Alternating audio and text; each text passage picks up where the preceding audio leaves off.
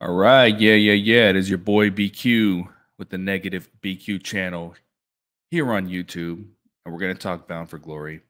My previews, my predictions for a show that year to year usually is, as, even though we paint it as their WrestleMania, their number one show, it's usually the third or fourth um, show of the year, rankings wise. Usually, Slammiversary, A Hard to Kill is a, a, pretty superior show to Bound for Glory. And then, uh, you know, Rebellion is, for me, has been a little hit or miss. I would say Rebellion is probably number four every year, but Bound for Glory is more like the number three. And the build every year, and the reason for this is that there's always something going on every year with contract statuses, who's going to be around after the show. You know, there there's been there's been some years, and I understand this is in the past, but there's some years where they're building up to Bound for Glory, and uh, you know, a champion or champions leave the company before properly dropping the title.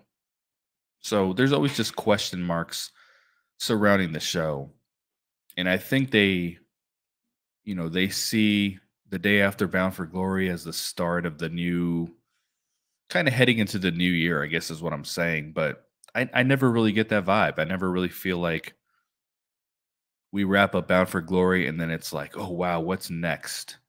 Because they follow it up with, you know, the silly Thanksgiving episode, and then there's best of episodes in December, and and I usually think every year and, and this is my opinion, I think the company loses a lot of momentum after Bound for Glory every year. You know, that's just the way that I perceive it. You may not agree with that, which is perfectly fine. But that's the way I perceive it. That they they lose quite a bit of momentum after the show. And the build is usually very, very lackluster. And even though I wasn't crazy about the way they built this card, I think it was better than they've done in the past.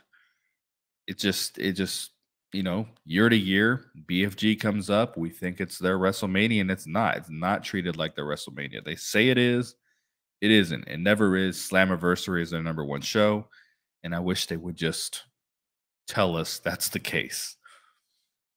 So uh, that being said, I'm going to run down this card here, give you my thoughts on what I think will happen. I know I um I kind of shit the bed on the cropping for this graphic here that I've got. Um, so sorry if uh, it looks a little weird on the bottom. I don't know how it's gonna ultimately show up on YouTube, but kind of messed up the cropping a little there. Um, but let's get into it. Let's get into Bound for Glory. See if we can make this quick and painless. Um, I'm hoping for a very good show. It's um Eh, the we can sit here all day and be like, well, they didn't do a good job of building up to this show, and the matches are random, which is the case. Most of these matches are, but typically they really, really deliver at the pay per views because they don't suffer what AEW does, where they try to put on these 20 minute matches throughout the whole entire night on free television, throw everything, including the kitchen sink, at people everyone goes through tables, everyone kicks out of finishers, the matches never end. And then the pay per view rolls around, and Tony K, uh, Tony K, Tony Khan feels like he has to, you know, do an eight eight hour pay per view because he has to extend the time on the matches and make them even crazier than what he does on television. So with Impact's televised matches, they're very um you know it's it's very rare that they run too long. They're very well laid out for the most part. No one's kicking out of finishers and moves that they don't need to be. We're not unnecessarily adding tables to the matches and just just doing all sorts of nonsense. It's it's a very logical wrestling pr- promotion, very logical wrestling show eh, in the ring, I'm saying, not creatively or not the backstage segments, but in the ring, everything happens very logically. And then when the pay per view rolls around, they can kick it up a notch. They can kick out of some of the moves that they wouldn't kick out on television. Like there's there's a formula that they follow, and it works, and it works and we enjoy the pay per views for the most part. I think the times we don't enjoy the pay per views is when they they overbook things, which there's no doubt in my mind that something on here isn't going to be overbooked. Eh, it's usually towards the end of the match. I'm going to say it's probably the the world championship match, but something's going to be overbooked on here. That's that, you cannot go through a whole Impact pay per view without that being the case. So let's let's run this down. I'm going to kind of start from the bottom and leave the world championship for for the very end. I'm going to start with the call your shot gauntlet. I haven't really expressed my feelings of this match in a while. When they first made this a thing, I thought they dropped the ball tremendously on how they promoted it. I would rather than using precious social media time to show you clips of Sting retiring. I think that there's things that they can do with the call your shot gauntlet, which I think they've been able to do for years or uh, could have done for years, is, you know, one by one, announce who's in the freaking match. Now we know there's going to be, you know, four surprise entrances. That's usually the magic number. One, you know, one or two of them is pretty cool. One is someone probably old that shouldn't be in the ring. Like, like what's his name? Um, the Nunzio dude, whatever the hell his name is. I, I, I would bet money, and I'm I'm a betting man, so I'm okay losing money. But I I would bet money that he's one of the surprise entrants. And then there's usually usually something silly in there uh, for one of the entrances. You know, Swoggle's been there a couple times. The Demon. So you know, I think considering there's 16 other competitors, what's wrong with instead of putting all this time into showing us old Christian Cage graphics because he appears on Impact Television, why not put little 30 second clips making someone look good and announcing them for the gauntlet on social media? Even if it's freaking Champagne Singh, but then he gets you know, a 30 second clip of actually kicking some ass in the ring. I I, I just think there there's a way to make it because there's big stakes here with the call your shot gauntlet. The first mat the first one I had a lot of fun watching. I was at I was there in Chicago. I had a lot of fun watching that match. But it meant jack shit. Eddie Edwards won, never really got a title shot and you can argue that he did, but all he did was was enter a four way match that you know the other competitors didn't have to do anything special for. That's what he cashed in for. So I thought that really shit the bed with that. The first two years have had the person who come in at number one win the match. The person who draws number 20 has usually been one of the shorter uh, entrants in the match. So I don't think they've done a great job of like laying this thing out, but I think it's been better from year to year. You know, um, I think from year to year, it's starting to feel like it actually means something. I think this is the year, though, that the knockout wins. I think this is the Jordynne Grace year. I know they are teasing that Jake something is going to win this thing. And I think he's going to be I think he's going to be there in the end. I think he's going to be the third number one competitor to last to the very end of the fucking match. But I don't think he's going to win. I, I do think uh, this is the Jordynne Grace year. I think it's the knockout year. If it's not this year, it's going to be next year. But um, I, I it's a storyline I see for Jordynne Grace holding around the the number one dad trophy that they hand out and you know, cashing in on on someone eventually, mickie James or um, Trinity or whoever it is. But I think the Knockouts World Title picture is so much more entertaining right now than the World Championship, the Men's World Championship. It just feels natural for me. It feels right for me. It feels like it's the Jordynne Grace year because what is what is Jordynne Grace doing otherwise? Like this sets her up for doing something. Of everyone in this match, it just seems like she's the one that that needs like what's next for her because you got to remember she just resigned with the company you think she resigned for to just just return because she's happy to be here Like there's got to be some creative plans in that re-signing, and I do think it starts with the call your shot gauntlet. And um, Dango coming in at number 20, I think is just going to be the next number 20 entrant to last about five seconds in the match. Let's move on to Will Ospreay versus Mike Bailey. I was really critical about this when this came out because I think it's it's what Impact perceives to be a dream match, but I thought they um, they missed an opportunity. So, what I was explaining, you know, when it comes to promotion and when it comes to marketing something, you use a, a 70 30 scale, or you can even say a 60 30, I mean, excuse me, a 60 40 scale, where 60% of your product or 70% of of the show, I should say, is built to entertain the people who already watch the show. That other 30 or that other 40, that's where you try to bring in a new audience. I use the same strategy here on the channel. 70% of what I do is for my subscribers. And then you're going to see my Billy Corgan is Billy Corgan's independent promotions going to ruin the future of Impact video? And WWE firings and where are they going to sign? And is CM Punk coming to Impact?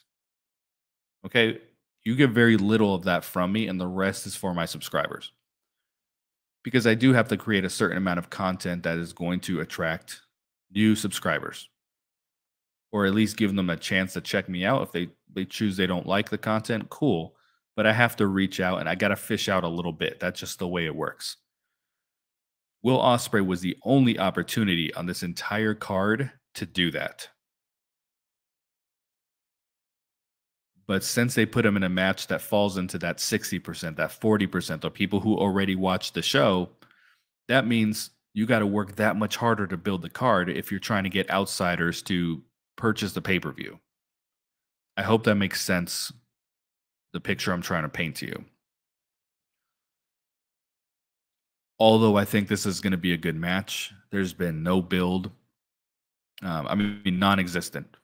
Will Ospreay, I mean, excuse me, Mike Bailey acknowledged him on TV the other day. They they don't even have Will Ospreay sending in promos for this. This is just what they perceive to be a dream match. They think people are going to buy the pay per view for it because he's the best wrestler in the world but nobody knows who Speedball Mike Bailey is, which is the problem. We know here as the Impact audience that this guy can go, that he has put on some of the best matches over the past two years that Impact has done. We know that. But can you honestly say the way that they've promoted this match is doing anything to bring anybody from the outside in and say, hey, let me buy Bound for Glory? because the thing is too, Will Ospreay's doing matches on AEW television. This isn't like um, Will Ospreay's only match in the United States for the for the year. He's already doing AEW stuff, and he is doing this along the way. He's gonna beat Mike Bailey. You know, maybe they needed to give him a beatable opponent because I understand this was supposed to be a multiverse united match. I really thought they should have they should have zigged on this one or zagged or however you want to say it. I think he should have been involved in the world title picture or wrestle Josh Alexander. That's that's what I think. I think this is going to do nothing for Bound for Glory other than give us a really good match that Will Ospreay is going to win. And if he is in fact on his way to AEW, which people suspect he is, Scott DeCuck is not going to have an Impact wrestler beat him. He Tony Khan didn't allow that last time. And if Will Ospreay moves on to here and wins the world title, that's why I don't think Josh Alexander is going to win. Because if Will Ospreay is in a position to win the world title and he wins it, we're going to have Kenny Omega all over again, and nobody wants that. Maybe they do. We don't. The fans. That did not work with the fans. Ultimately, we were excited about it first. It ultimately didn't work, and it's going to happen again. So Will Ospreay, I got him winning a match, which which should be really good. I think it's probably going to be the. I would imagine it's the opening match, and that's usually the match that gets people excited. But it's also like the, I don't want to call it the throwaway, but it's like I think it's in a bad position to just hype up the crowd with a match because then you don't really care about the outcome. You just you just care about seeing a good wrestling match. I don't I don't know. I don't think I'm making sense what I'm saying. Just for um reference, it is four in the morning for me. I am uh, recording this review, and then I have to work for like four hours, and then we are on our way to Cali for our wedding, and we'll be out of pocket. So I'm I'm going to repeat this because I have my last couple podcasts. I will not not not be streaming a review of Bound for Glory right after the show because I will be out of town for my wedding. I will be back Monday, and I will very likely review Bound for Glory Monday night. I will not be reviewing Impact this week for that reason. Impact World Tag Team Championships, uh, the Rascalz facing the ABC, a name that I hate very much. This is another one that's going to be really, really good. Uh, by the way, um, drinking game, take a shot every time that Tom Hannifan says this is a first time ever matchup on this uh, on this card here. That being said, I don't think this is a first time matchup. I'm fairly certain these guys have wrestled before. I'm, I'm pretty sure they have. This will probably be one of the show stealers of the pay per view. I am not a huge fan of the two high flying tag teams that that uh, coordinate spots with each other and cooperate and and flip and dive and roll and dip and duck and dodge. You know, it is not uh, a style of wrestling I particularly care for. Like, I will be more interested in Chris Sabin versus Kenta. I'll be a little more, even though I find them both boring. I'll find uh, I'll have more interest in like Josh Shelley and uh, excuse me, Josh Alexander and Alex Shelley. You know, that's stuff I have a little bit more interest in. Um, tag team matches like this, like even though I'll, I will acknowledge that they are good and they're entertaining and they're impressive and everything they're doing, I tend to check out a little bit during them. But with the Rascalz, this is a team that I like quite a bit. I didn't like their babyface run at all. I know they were really popular with the Impact fans. They were not with me. But this uh, this version of Trey Miguel, this version of Wentz, I'm a really big fan of. I like to see them retain the title here. I don't know that they will, though. Um, I'm going to say that Ace Austin and Chris Bey win this thing. I think we're I think we're gonna get some some hot shotting with the tag team championships, to be honest, because uh, the the tag team division is in a really good place. It's probably the best place that it's been in a really long time. The Good Brothers really hurt this division, and it took them a while to bounce back from it and they're there now. Um, but I'm saying ABC is going to win because every time I think there's a guy like Trey Miguel or heel Ace Austin when he's like X Division champion, I'm like, yo, this guy can really benefit for a long title run. You know, Kenny King even for the eh, the digital media championship. They always seem to take the title off that person. And I think they are going to put it back on the ABC. I would prefer they don't but I am going to um, I'm going to say they are. The Rascalz right now are doing really good work. They they got a lot of heat for um, getting Jabamura. I said I wouldn't call him that anymore. Uemura ultimately fired. They win with the spray paint every single match. They cheat every match.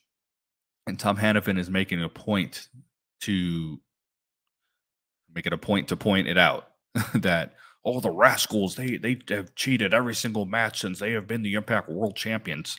Uh, every first time matchup, they have they have cheated. So I think that's a story they're telling is that they need to cheat to win. And um, I, I think I wouldn't be surprised if ABC doesn't use the the spray paint on them. It's kind of a played out way of going about things, but that's kind of where I think they're they're going with it. Knockouts Tag Team Championship, MK Ultra versus Tasha Steelz and Deonna Purrazzo.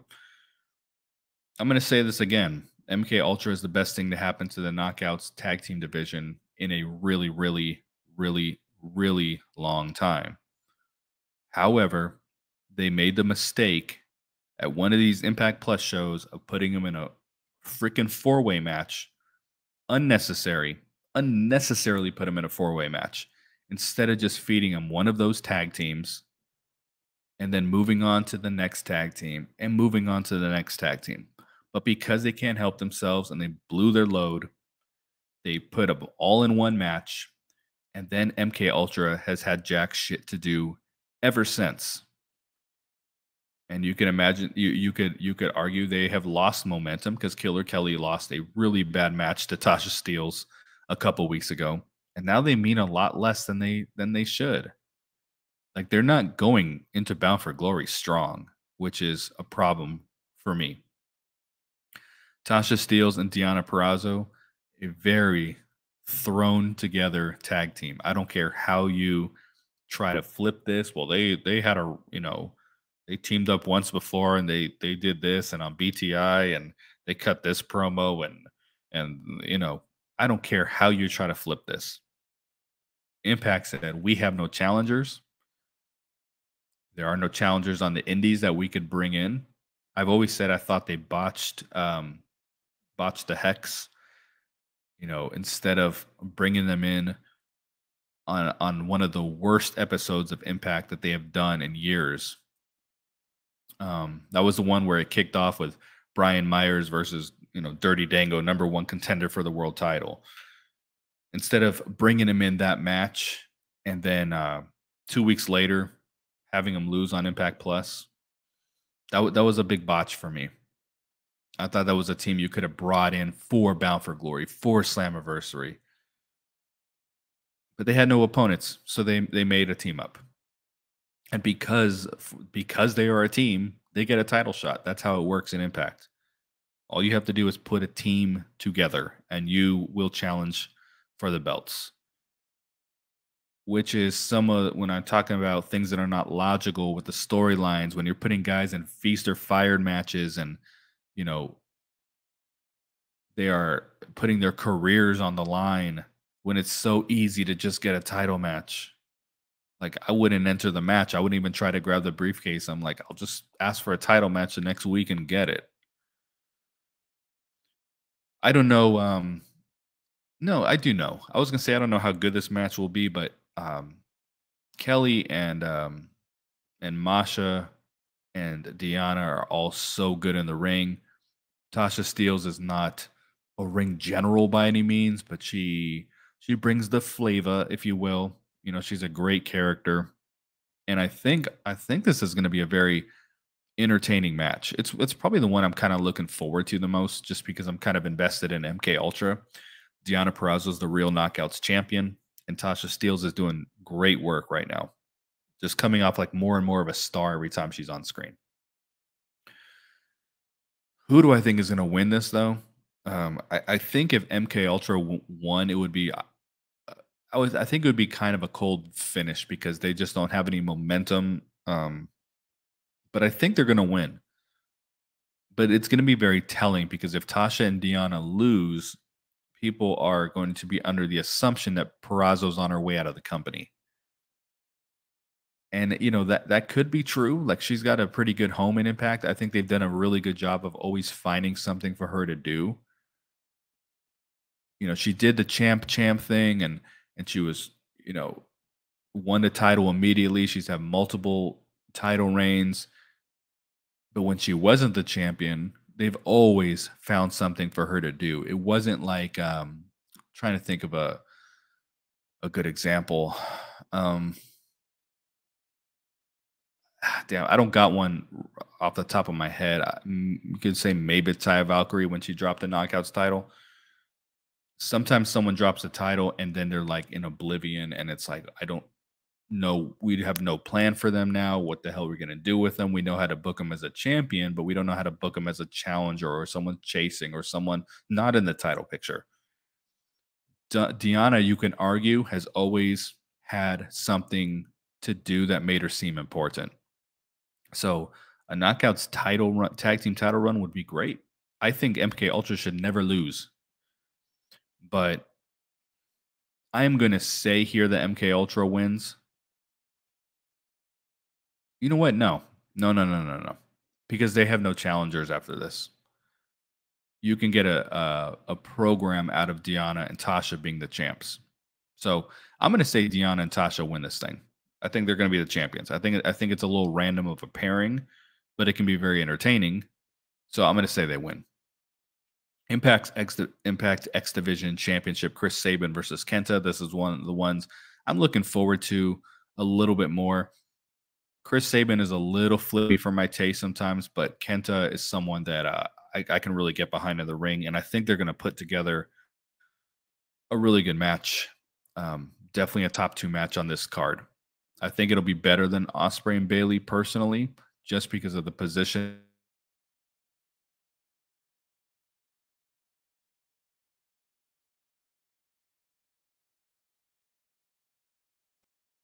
seeing Will Ospreay come in with absolutely no story, no build, no reason to care about this match. At least they did some video packages for Chris Sabin and Kenta. But that's me. I need a reason to care about a match.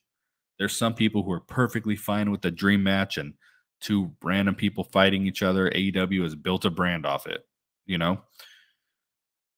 But Chris Sabin versus Kenta, I, I don't expect Kenta to win this thing. I hope that he does stick around for a little bit. I hope that he sticks around all the way through uh, Hard to Kill. But I don't expect him to win this match. I think uh, Chris Sabin's going to be your dude. I think he's going to, you know, retain this thing.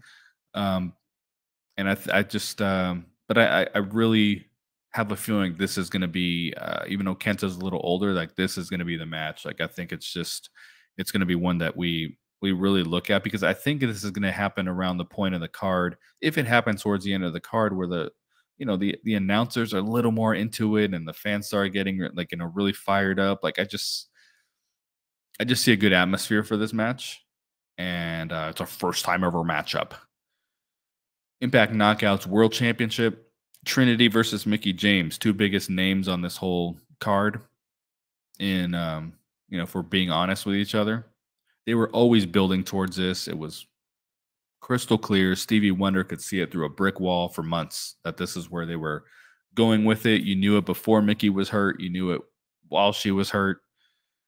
Um, I hope Trinity kicks that fake accent out of her and we get the old Mickie James back.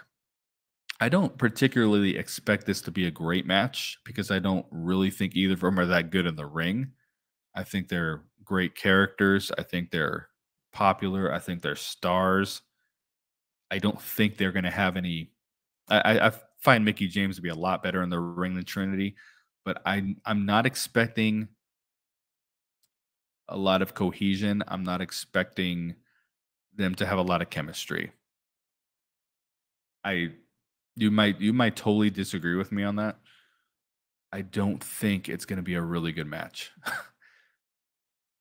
this is a tough one to call who's going to win because what I've what I've always said, not always, but ever since Trinity's been in the company, is that he she will lose one match in this company, and it'll be when she drops a knockouts title. I could be very wrong. She could sign a long term deal with Impact, she decide she likes it here, and and keep going. I could be totally wrong. But right now, my gut tells me she's going to lose one match like she's going to be pinned once because I don't think she's ever been pinned in Impact. She does these title match, you know, she's tag team matches. I have not, you know, this is before Impact tonight, okay?